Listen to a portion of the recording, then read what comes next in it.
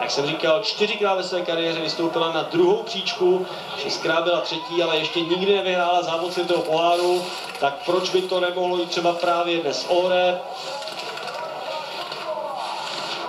Šestém závodě této sezóně byla na stupních vítězek, protože skončila na třetím místě. Tady vidíme, že ten uh, trošku mírnější úsek dokonce jel takový ten odšlapávaný oblouk, aby zrychlila co nejvíce své liže. 12 sekundy je v tuto chvíli ještě náskok Veroniky Zuzulové. Z 35 sekin tedy docela dostratila proti Marii Heflové-Ríšové. Ta vede před Marí Michel Ganěrovou a Terezou Borsenovou.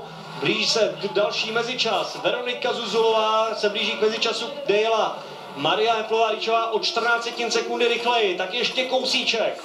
Ještě pár setin by to chtělo zase ubrat ve svůj prospěch a aby Veronika Zuzulová mohla třeba i zvítězit, 1.49.85 je čas Marie Floveríšové, nakonec jej bohužel Veronika Zuzová nepřekonává, ale o pohou jednu setinu sekundy.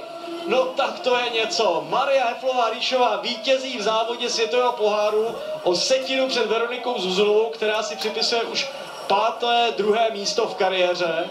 Takže dál bude čekat na vítězství, možná přijde třeba ve Šládmingu při finále světového poháru. Veronika Zuzulová tomu zatím ještě nechce ani moc věřit. Je fakt, že stáhla těch 13 setin z druhého mezičasu,